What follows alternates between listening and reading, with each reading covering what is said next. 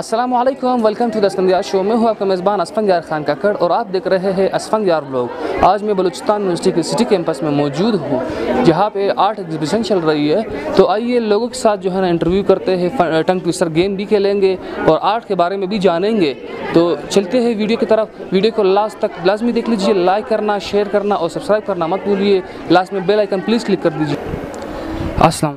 वालेकुम अस्सलाम। क्या हाल है? ठीक ठाक नाम क्या है? हनीफा हमीदी। इसको बनाने का मतलब क्या है? इसका बनाने का मतलब ये थी कि अगर बड़े लोगों के पास इतनी ज़्यादा पैसे वगैरह चीज़ें हैं क्यों गरीबों को हेल्प नहीं करते? तो इसलिए मैंने बनाया। अच्छा। इसकी टीम से जो मुख्तलिफ़ रोटियाँ मैंने जो बनाया वहाँ पे उसके पीछे इंसान की मैंने शोभा की। इंसान पे यहाँ पे मुख्तलिफ़ है। दुनिया में बहुत इंसान मिलते हैं जो किसी को रोटी मैसर होते किसी को नहीं होते और ख़ासन गरीबों को कोई मद्दनज़र नहीं रखते इसलिए मैंने बनाया। अच्छा इसको बनाने में कितने दिन लग गए? इसमें बनाने को तीन तीन दिन? तीन तीन दिन नहीं तीन महीने लगी है। कलर्स देना स्कल्पचर बनाना बहुत मुश्किल है तो लगी है। माशाल्लाह काफ़ी अच्छा बनाया है। इसके जो मैंने अभी काम किया है मैंने मैं अपना मटेरियल चेंज किया है जो आज तक हिस्ट्री में पहले कभी यूज़ नहीं हुआ ठीक है? चूड़ियों से काम किया है।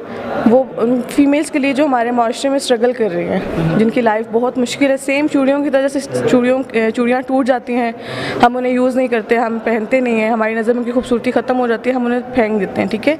उसके बाद कोई भी उनका कैसा रवैया इख्तियार कर रहा है हमें उससे कोई सरोकार नहीं होता।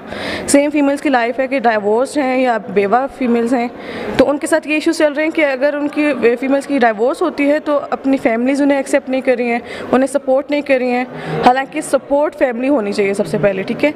अगर वो सपोर्ट नहीं करे तो फीमेल के लिए मेरी मेरी तरफ़ से ये पैगाम है कि आपको अल्लाह पाक ने अशरफुल मखलूक़ात में से एक बनाया है, ठीक है? आपको अल्लाह पाक ने अक्ल दी है तो आप आगे बढ़ें। हर इंसान को अल्लाह पाक ने अच्छी ज़िंदगी गुजारने के लिए पैदा किया ठीक है? आप हर तरह से मुकम्मल हैं आप सब कुछ कर सकते हैं।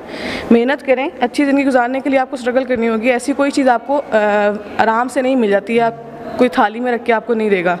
तो आप मेहनत करें और अपनी अच्छी ज़िंदगी गुजारें। अच्छा ये आर्ट्स आपने बनाया जी। इसके पीछे जो छुपी स्टोरी है वो आप बता दीजिए। ओके okay, मैंने बेसिकली जो है मैंने मोहब्बत पे काम किया मेरा थीम जो है वो मोहब्बत है। मोहब्बत पे मैंने जो है फोक स्टोरीज़ को उठा के काम किया इसलिए क्योंकि हमारी सोसाइटी में आजकल मोहब्बत जिसको समझा जाता है असल में वो मोहब्बत नहीं है। मुझे लगता है कि आप काफ़ी गमगीन आशिक हैं। नहीं ऐसी ऐसी कोई चीज़ नहीं है। ज़रूरी नहीं होता कि अगर कोई आर्टिस्ट या कोई भी इंसान अगर किसी चीज़ को उठा के उस पर काम करे तो वो भी उस चीज़ में इन्वॉल्व होगा। ऐसा बिल्कुल नहीं होता। किसी किसी की नेचर ऐसी होती है। जो कि मतलब इन चीज़ों से अट्रैक्ट आपको करती हैं। तो मेरी बेसिकली नेचर जो है वो बहुत लवली नेचर है केयरिंग नेचर है। मुझे ये चीज़ मुझे ऐसा लगता है कि हमारे, हमारी सोसाइटी में मोहब्बत, असल में जिस चीज़ को कहते हैं वो मोहब्बत नहीं है। वैसे तो कहने को लव मैरिजेस बहुत है, मगर अगर हम देखें तो लव मैरिजेस के रेशो के साथ साथ लव मैरिजेस में ही डाइवोर्स का रेशो बहुत ज़्यादा है। तो अगर असल में वो लव मैरिजेस हैं तो उनमें डाइवोर्स क्यों हो जाती है फिर? तो मेरे नज़दीक जो मोहब्बत है वो इनकी मोहब्बत है। अगर हम अपने बड़े बुज़ुर्गों में भी बैठ के मोहब्बत की बात करते हैं तो वो हमें पहली एग्ज़ाम्पल हीर रांझा हानी शाह मुरीद सच्ची इनकी मोहब्बत की देते हैं तो क्यों देते हैं? मोहब्बत करना कोई जुर्म नहीं है मगर हमने उसको बना दिया है। इस आर्ट को मैंने बनाया था क्योंकि इस माशरे में मैं तकरीबन सत्ताईस साल से रह रहा हूँ। मैंने इस माशरे में ये चीज़ नोट की है कि इस माशरे में तीन किस्म के लोग रहते हैं। एक होते हैं कल बंदूक के ज़ोर के कि फोर्टी सेवन के ज़ोर के लोग होते हैं। एक होते हैं एलिट तबके के लोग जो पैसे वाले होते हैं। और दूसरा होता है पुअर जो गरीब होते हैं। इस माशरे में तीन किस्म के लोग होते हैं। जी। ये आप लोग और भी बताइए।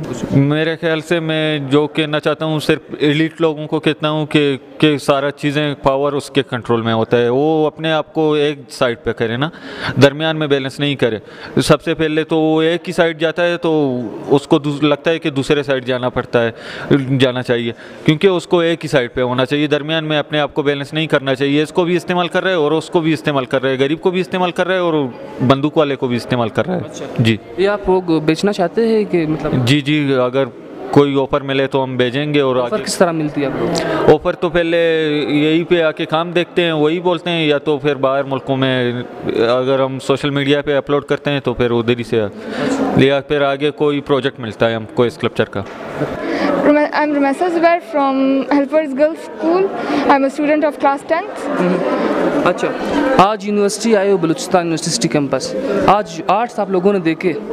इस आर्ट्स के बारे में आप लोगों ने क्या क्या सीखा क्या क्या टीचर्स ने क्या क्या सिखाया, क्या गाइड किया आप लोगों को? ये सब तफसील से बता दीजिए। First of all I am very thankful to our principal doctor Amna Soomro she provided us the opportunities that we visit this place and to the university as well and the second thing is that when we came here we are when we see the art it's very inspirational The sculptures or the mm, the paintings or mm, the um, the calligraphies and the other works, and it gives us many messages. Mm, the, and it's discussing the many problems of Balochistan, and uh, we should surely um, uh, solve it. Like uh, how can we overcome these problems? So we are very inspired by these arts, and we will try. Inshallah, we'll try our best. We will also try to do something like this, something inspirational like this, that we can also become an inspiration for others. First, I will tell my name. My name is Gulsika Panizui. I am from 9th class and I am the prefect of the Helpers Public Girls High School. And first, we will thank to our ma'am who allowed us to visit the branch of the uh, Balochistan University, which is very uh, interesting. And we have visited the, a lot of the structures and uh, the paintings. We asked the teachers about the mm, these also, and they explained very well. And it's very interesting to see. And uh, obviously, everyone wants to do something interesting, and we will also try our best to do uh, something interesting to be an inspiration for the others. And okay university life कैसी है आप लोग school life में हो ना आप university में कैसे है लोग स्कूल अच्छा है या यूनिवर्सिटी अच्छी है स्कूल लाइफ ज़्यादा बेटर है। स्कूल इज़ बेटर बिकॉज़ हम स्कूल में समझते हैं कि हम यूनिवर्सिटी में जाके बहुत इंजॉयमेंट करें लेकिन ऐसा नहीं है। स्कूल की लाइफ बहुत डिफरेंट होती है। स्कूल में हम बहुत इंजॉय करते हैं। यूनिवर्सिटी में हमारे पास हम लोग कोई रोक टोक करने वाले नहीं होता। स्कूल में हम लोग को रोक टोक होती है। हम एक चीज़ से डरते हैं कि हमें नहीं करना लेकिन फिर भी हम वो कर रहे होते हैं। जैसे मैं आपको कल का बता देती हूँ। कल हम समझ रहे थे कि हम लोग का विज़िट है। अ, हमने रेडी हुए। हमने सब डिसाइड नहीं किया था कि हम लोग शूज़ पहनेंगे। हम सबने जिम शूज़ पहने थे।